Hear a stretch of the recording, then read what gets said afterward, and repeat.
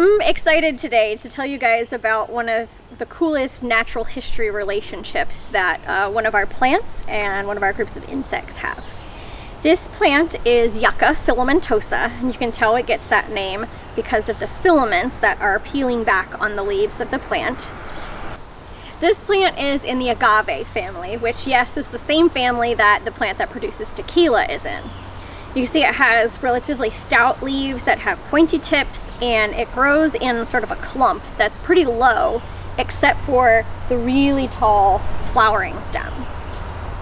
One of the things I always see on these flowers are leaf-footed bugs. So these are insects in the Hemiptera order and they typically are feeding on the plant itself. So I think they must be using their piercing sucking mouth parts to suck out juices from the flower itself.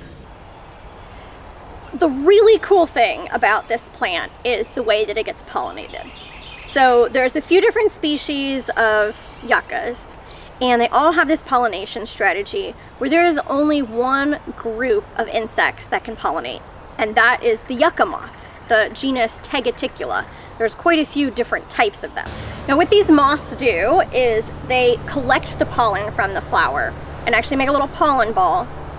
They stick the pollen to the stigma of the flower, pollinating it, and then they lay their eggs in the ovary of the flower. So what's happening is the moth is pollinating the flower, but then the larvae are feeding on the developing seeds as they grow. They don't feed on all of the seeds, so the plant is still able to reproduce, but without the moth, the plant wouldn't get pollinated. And without the plant, the caterpillars wouldn't be able to survive. Now, the Trust has been working on a research project for the last several years. We have been trying to build a list of all of our pollinators found here on the island to be able to show how native plants support the pollinator diversity and how different habitats can be home to all these different species. And our entomologists were here last week. We were out doing some surveys and I just happened to look up inside of one of these flowers and found these teeny little white moths. And of course we got really excited because we thought that they might be the yucca moth. And that's actually the first time that we've recorded this species here on Spring Island. So it was a great addition to our species list.